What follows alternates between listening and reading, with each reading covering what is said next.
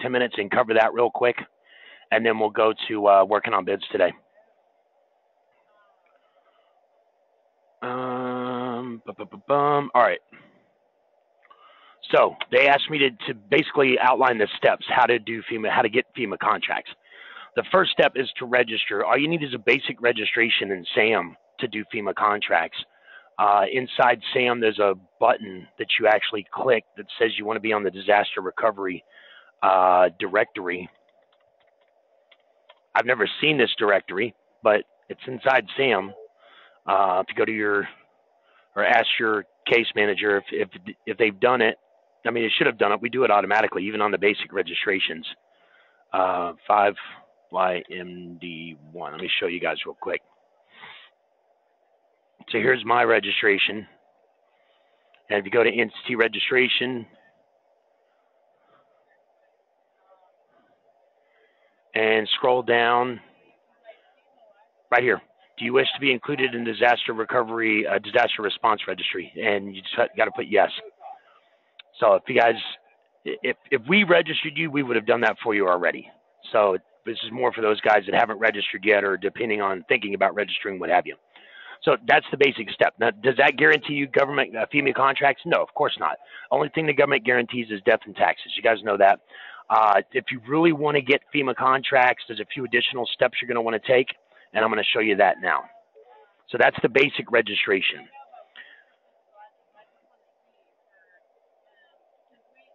You've also got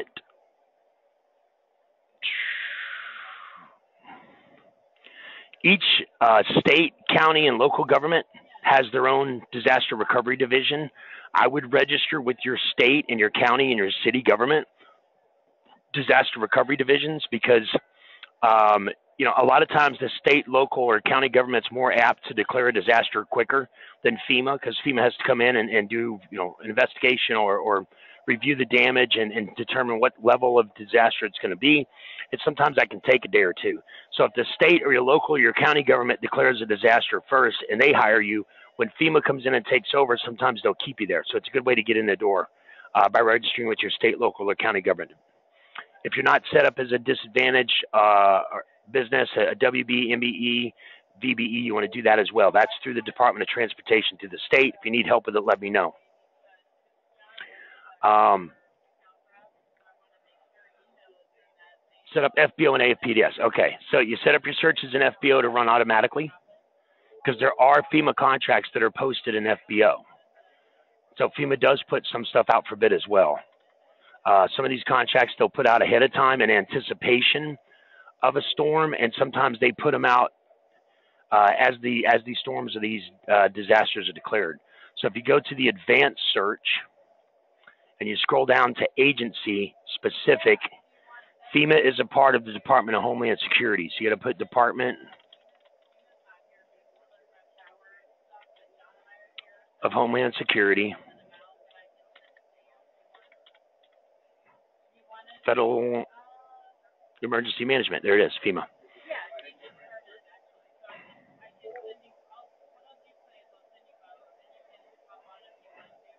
And of course, you can type in a keyword or a specific area and search.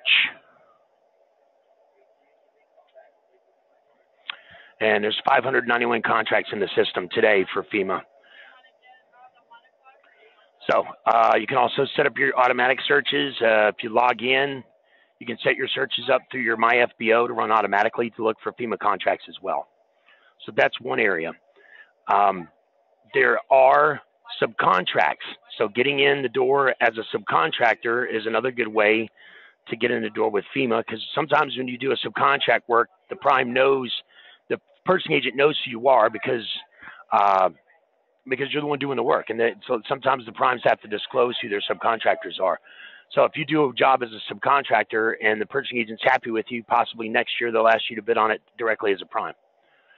Um, you can also pull up FEMA contracts and AFPDS and market yourself that way.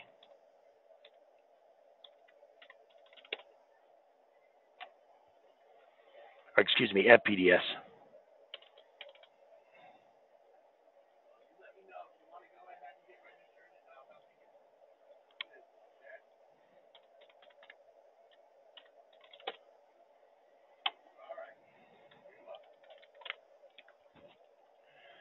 So there's the Department of Homeland Security, um, their primary, and then you've got FEMA secondary. So these are all FEMA contracts that have been awarded recently. And you can market yourself to these primes to do subcontract work for them. These guys just won one for two million. So you take their DUNS number, pop that in Cage system. Don't bother searching in SAM. It's a pain and it crashes sometimes. Make sure you get the whole DUNS number. I lost one, two, three. I got the whole DUNS number. There's WSP USA. They just won that $2 million contract. So click on the details. Call Laura. Say, hey, Laura, congratulations. I see you guys just won that contract with FEMA for 2 million. We specialize in blah, blah, blah. I'd like to know what I could do to earn your business as a subcontractor. We can help you with your ESRS requirements.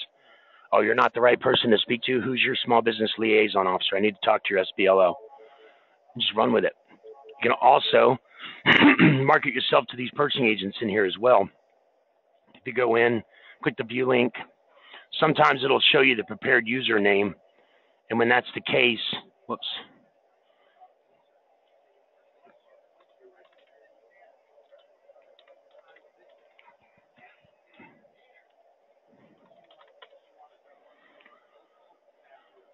Sometimes it'll show you who the purchasing agent is.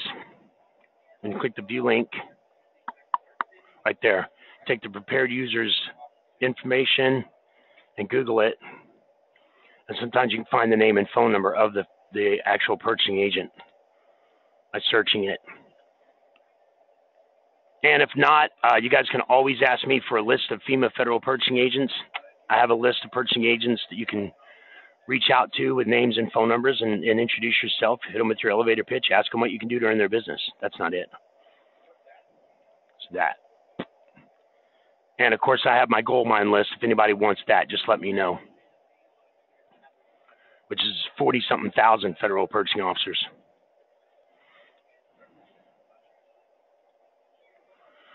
All right, uh, subnet.